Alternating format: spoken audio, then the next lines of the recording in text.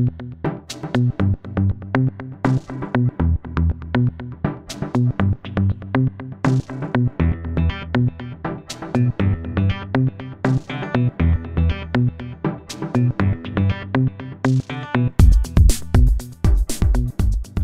talking to Rui Chammas from Braskem of Brazil. Mr. Chammas, you're an international company. Can you tell us a little bit about yourself?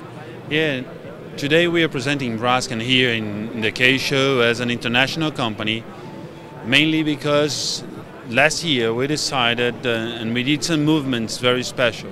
We acquired one of our competitors in Brazil, that is Quattor, and we acquired Sunoco Chemicals in the States, integrating now our operations in Brazil and US as, as a global player.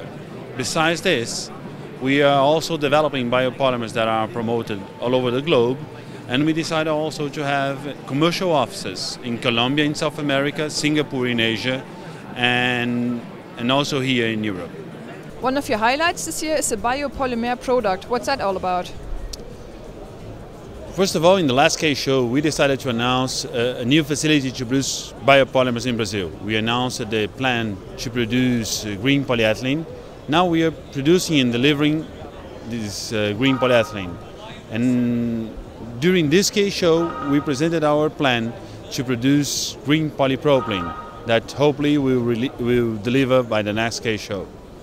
Also, the sugarcane plays an important role. What, what does the sugarcane have to do with it?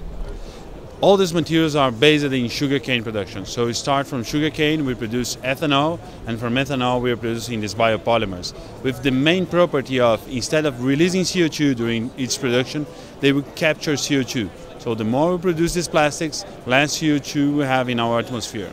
My last question, what do you think, how important is the plastics industry for Brazil? The, the plastic industry and, and this analyzing as a whole chain is very important knowing that Brazil is now uh, a net exporter of oil, crude oil, the plastic industry is a way to bring value to the consumers, adding value to this natural resource that we have in our country.